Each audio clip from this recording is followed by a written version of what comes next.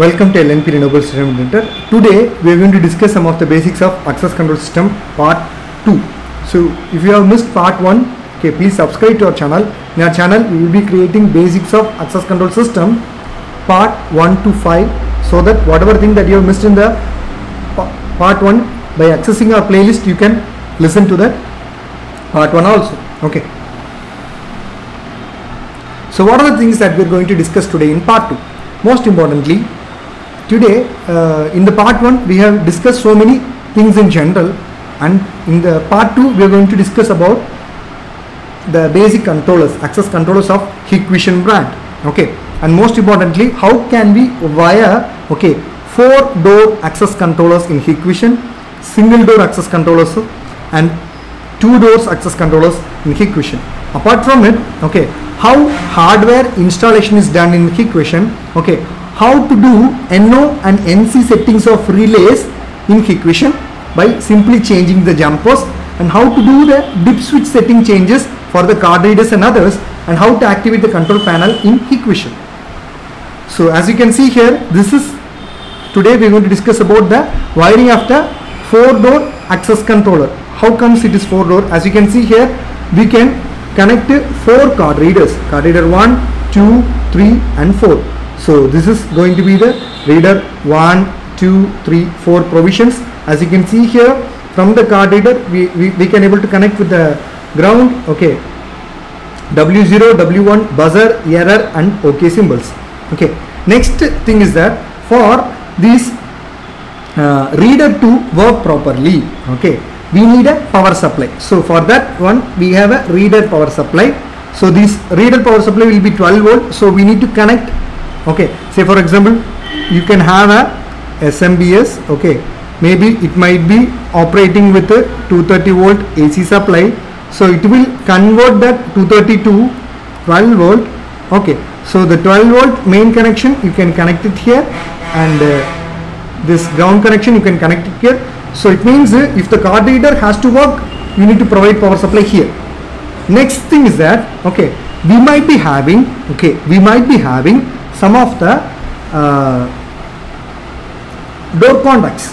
So we might be having what? We might be having some of the door can door contacts. So if you want to command these uh, door contacts okay what we need to do we need a help of a relays. So these are going to be the relays. Okay these are going to be the relays. For this okay lock most importantly we also have the locks also lock power uh, supply also we need to provide lock command also we are going to provide. These are going to be your outputs. So if you want to command uh, this door lock or if the uh, for the lock to operate it needs a power supply. This is going to be the lock power supply. So for here also we need to connect a 12 volt supply. Either you can take a tap from here you can connect it here. Okay? 12 volt supply you can provide. So this is one of the most important power wiring connections. Uh, and also uh, this is how you, you need to connect your output signals next thing is that um, now we get provided the normal power supply normal power supply. Now consider a scenario if this uh, power supply is getting failed. In such occasions the system has to work properly. So for that what we need to do? We need to provide a battery supply. So for that you can use okay you can use 12 volt battery. So from the battery you can connect your positive uh, negative terminals and the positive terminals here so that even this main supply fails with the help of a battery these equipments will be operating. Because we can see a scenario that if uh, the main power fails we, does, we can't say we can't enter into the building or we can come out of the building. We need to come out or we need to enter also.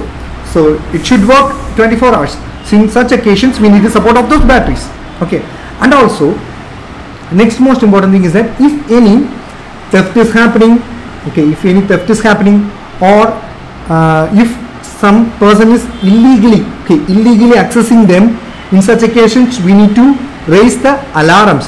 So for that we need to trigger some alarm relays okay for the alarms to work properly we need to provide external 12 volt supply for those relays to operate properly. Okay and most importantly as we told earlier uh, if it is a very small application maybe with the one or two card readers we will be working and they will be monitored separately. But when you're going for a very, very big projects or a multi-storage building projects okay uh, multi-store projects or uh, metro stations in such occasions okay so many card readers will be there. We can't individually uh, provide our wire, wire from the controller to that location. Say for example um, maybe consider a floor. You might be having uh, 10 floors. So in such occasions so individually from a single place we can't pull the wire to all the locations separately. So to avoid that what we can do we can provide a RS485 communications. Since in RS485 communication maybe the main uh, controller will act as a master and others will act as a slave. We can establish the looping connection. For that looping connection for positive and negative looping we need to connect it here. So most importantly even though this is going to be a master okay for this to communicate with the server we need a help of this RS485 and for this to communicate with the other slave card reader or uh, other slave controller we need the help of this RS485 communication and most importantly uh, even though access controllers okay are working based on the card reader inputs or emergency push buttons everything fire plays a very important role. So consider a situation there occurs a fire all these outputs has to be unlocked immediately. Most importantly these uh, locks and this door contacts has to be demagnetized immediately so that uh, uh, the persons can exit the doors and go outside to the uh, emergency um, emergency locations. So uh, it means uh, as a, in a single controller so many provisions so many options are available. Okay. And as we told earlier um, even if you want to um, change this uh, output okay uh, say for example this output uh, if you want to do some uh, changing of NO provision or NC contacts those things if you want to change with the help of dip switch settings or with the help of the jumpers we can change it so those things we will see separately. So as you can see here this is the wiring of a two wire access controller. As you can see here so our card readers card reader 1 and uh, card reader 2 so these we, we will be connecting here. So we will we are having 1 2 3 4 5 6 7 8 so 8 wires. So consider um, uh, select a wire which has uh, 10 wires in it so that 8 you can use it. 2 you can keep as a spare if any other wires are failing in such occasions you can use the other two wires. So always never choose exact wires. Okay. So as we told earlier for this coordinates to work properly we need a power supply of 12 volt. So we have SMPS this is 230 volt. So it is converting uh, the positive supply we are connecting to 12 volt and negative supply we are connecting to ground. Okay so for the to work we need to provide the supply. In the same way for the output okay most importantly if you want your door contact to work properly okay you need a alarm power a lock power. So means in the same way you need to tap and provide positive and negative supplies for the door locks to work properly. So as we told earlier even if this power fails okay it need to operate. So in such occasions what shall we do we can provide okay and we can provide uh, battery okay which has a positive and negative supply which is having a basic supply of 12 volt. You can connect uh, the uh, positives here okay and you can connect your negative here okay.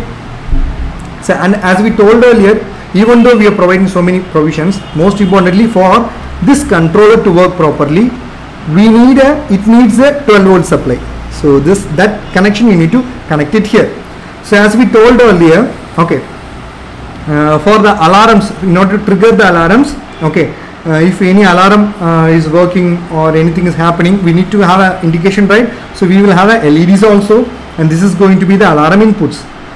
And as you can see here these are going to be the alarm outputs. Maybe it might be going through some of the buzzers okay if any malfunctioning or any theft is happening immediately the buzzer will start creating the alarm. Okay and uh, in order to change the NO and the NC provisions either with the help of this jumpers you can change it in the door contacts or if you want uh, the same provisions to be changed here you can use NO NC provisions. So even for the alarm outputs also if you want to change the NO NC provisions using by changing the jumpers also we can do so we can we have the LED indications for all the healthy status. Say for example if the communication is healthy we can see here with the help of LED okay. And if the battery uh, charging is there then we can see with the uh, LED provision. And if it is running properly we have a separate LED to show the running status. And if uh, the network is got established properly so if we if we are receiving some uh, sending and receiving some data those things also we can see with the network provisions. Next this is the wiring of a three door uh, two door access controller. As you can see here using this we can control the two doors. Okay. So we have four card readers here. Okay. And we have a 12 volt supply for the provision. So either from the SMPS so this is going to be the 230 volt and your output is going to be the 12 volt. So for this controller to operate you need a 12 volt power supply. And in the same way for this card reader to operate card readers to operate it needs a 12 volt power supply. You can connect it here. And even for uh, commanding the output for the door contacts for to provide power for the law we, we can connect the 12 volt supply here. So and most importantly uh, these are going to be the alarm inputs and these are going to be the alarm outputs. It might be say some sound alarms okay buzzers those things will be there. And for the communication purpose okay for the readers you can use this rs485 communications. Next to hardware installation. How can we do this hardware installation? So hardware installation we can do in two different way. The first method is that remove the jumper from the normal okay normal terminal disconnect the power okay disconnect the power and restart the access controller so that uh, buzzer beeps for a long okay it gives a long beep sound. When the beep stopped plug back the jumper back to the normal and disconnect the power and restart the access controller so that it is a basic way of hardware installation this is one of the choice. What is the other way? So in the other way what shall we do? You can remove the jumper from here and put the jumpers in the initial position and disconnect the power and reboot the access controller okay? So the controller buzzer beeps for a long time. Once it is done when the beep stop put back the jumper back to the normal position itself and disconnect the power and reboot the access controller so that the hardware get initiated. And most importantly so in order to control command the outputs we need a help of a relay so in, we all know that in relay we have common okay normally open common normally closed pro- provisions. So what provision you, you're going to use maybe you might have only two terminals in it you don't know which is going to be the NO and which is going to be the NC so for in order to have that clarity what shall we do?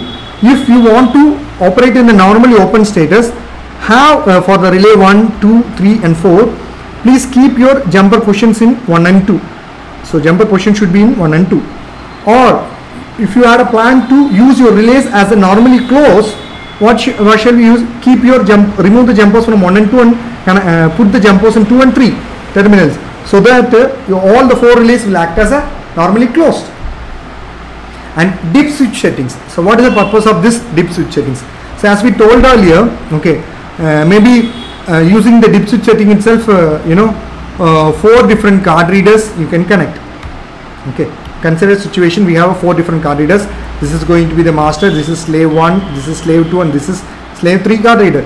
So this if this is going to be the first door or the first switch and if you want to assign the address as a 1 here what you can uh, do you can enable the switch 1 so that uh, the address 1 get assigned here. This is going to be the door 1 and in the same way if you want to do for the others you can change the dip switch settings 2 3 4 like that you can keep. This is one of the method. Or if you're going for a Wiegand card readers okay um, you want to set the bit 6 of the card reader okay dip switch on and bit 7 is on. So it means uh, it is going to work on the uh, Wiegand protocol. It means if the setting b7 is off on which refers to the Wiegand 26 protocol or if, if you make this uh, dip switch 7 off it refers to the Wiegand 34 protocol.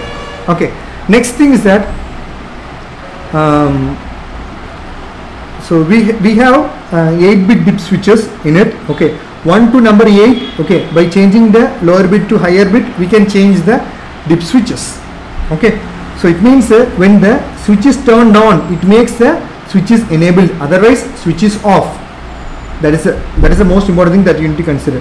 See here as you can see here only uh, 3 4 is at the different position rest and all in the off position it means uh, everything is zero only these two will be on and the other is zero. This is how the binary value of the decimal 12 and most importantly the seventh most important step is the activation. So you can activate in different method either by accessing through the IP address default IP address by using the username and uh, port address. You can enter and uh, you can keep the settings you can change the settings. Or in other way okay what shall we do? You can activate using the client software or you can using uh, activate using the SAT SADP tools. Okay so if you get into the softwares you have separate provision by getting into the devices getting into the online uh, online devices you can uh, activate them okay? And you can create a password for yourself and you can also activate the devices. This is one of the methods.